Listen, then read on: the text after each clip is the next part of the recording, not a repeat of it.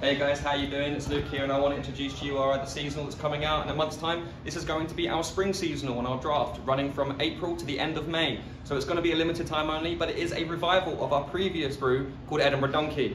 Those of you who are here with us before COVID will recognise that this is a gingered beer. Those of you who have joined us recently should be very excited to have our incredibly zesty, vibrant, juicy and fruity beer.